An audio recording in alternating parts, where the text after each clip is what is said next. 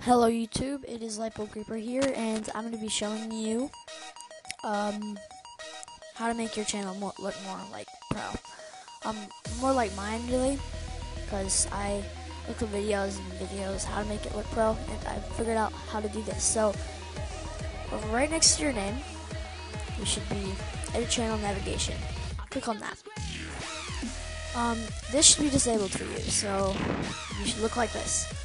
Um, you let's say if I save it, then it'll look like this. It'll look like what yours looks like. So um, this is what it's gonna look like. Really. So um,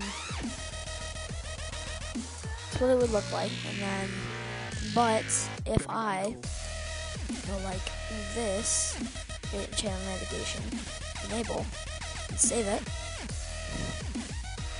it'll go be like this. So um, you can like add sections. Like let's say I want to add my subscriptions, and there's like a whole bunch of stuff like popular uploads, uploads, like videos, posted videos, load now, upcoming events, completed events, stuff like that. And then I'm gonna do my subscriptions, and then you can vertical or horizontal. Horizontal.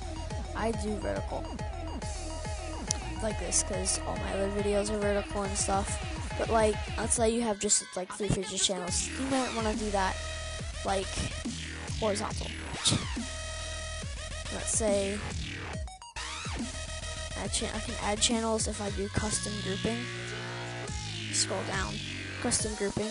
Like I got subscriptions down there. You can scroll down, custom grouping, and you can do add channels. And then you have these, which I am not adding. I'm not keeping this here, so cancel. But like, you can make you can make a whole bunch of stuff, and, um, and you can um, edit stuff. You can move them. That. and you can make playlists, which you can go over here to playlists.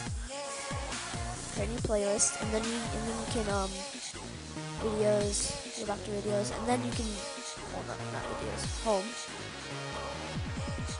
Then you can go back to home.